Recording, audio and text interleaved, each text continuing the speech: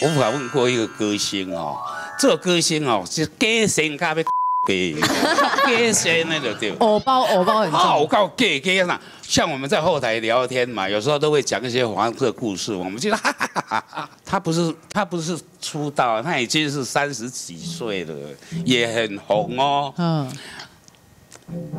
哎，你们在说什么啊？我都听不懂。他最难访问的就是这种 gay 先，给先，真的。嗯这个人哦，我等一下会爆出他的名字，哇，直接让你光直接们这个收讲出来了。视率提升哦。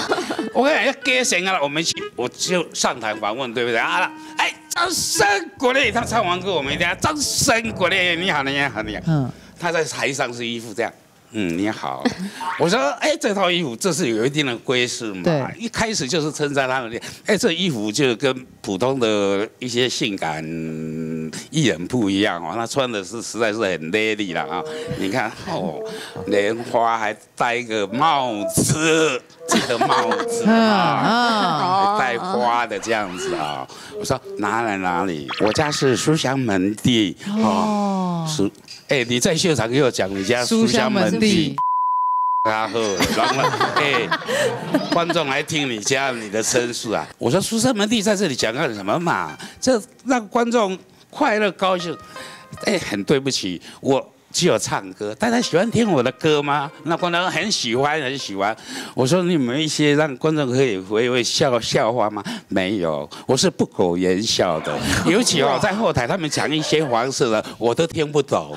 严肃哦，他怎么知道黄色的？哎他又听不懂。对，给个别对，然后跟那个扒了一样那种。有一次我访问到，你真的要那么给先想了？哎呀，菜头哥你怎么讲这样子？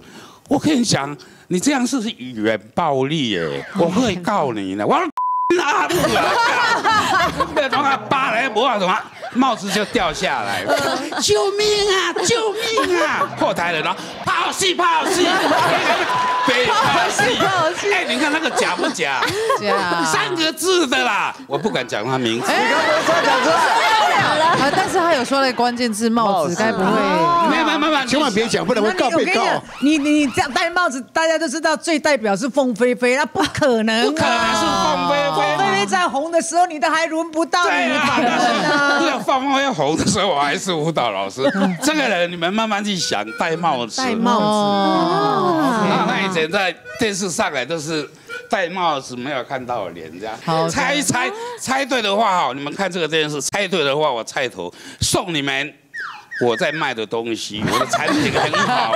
从头到尾是不是想植入而已？记录式行销啊。